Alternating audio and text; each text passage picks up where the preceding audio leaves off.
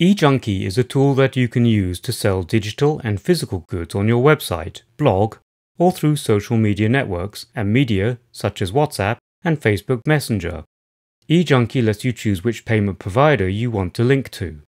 For example, PayPal, Stripe, Braintree, 2Checkout, and so on. In this video, I'm going to show you how to integrate E-Junkie with your EverWeb developed website. First of all, set up an E-Junkie account if you have not done so already. Once you have created your E-Junkie account, you will need to link to your payments provider. In this example, I am going to link to PayPal. Start by logging into your E-Junkie account if you have not done so already. Go to the Manage Seller Account Edit Profile menu or use the Start Selling in 3 Easy Steps screen. If this is the first time that you are using your E-Junkie account, you will be automatically taken to the Edit Profile page.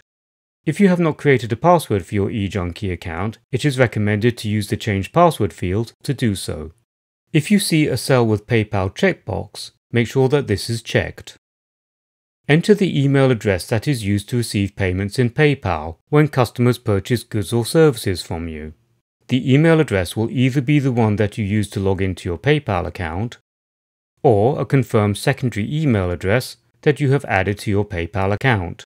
Click on Submit to apply the changes. You can now start adding products for sale. Click on the Manage Product Add Product menu, or on the Add Product button. Add the details of the product you want to sell. In my example, I'm selling a desktop wallpaper image. I can now upload my product, as well as any product images and information that I want to add for the product. You can now get the button codes for your product. For example, I'm going to use the Add to Cart button. If I want, I can edit the button color and size using the button preferences at the bottom of the page. Click on the Copy button to add the code of the button you want to the clipboard. Next, go into EverWeb. On the page where you want to add the button, add an HTML snippet widget. Paste the code that you copied to the clipboard into the code section of the widget, then click Apply.